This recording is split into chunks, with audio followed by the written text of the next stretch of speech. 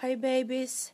Um, I'm here um, in the middle part of Finland right now. It's 20th of uh, May 2018, and I have this very cute Hello Kitty outfit. And I really like pink, as you all have noticed already.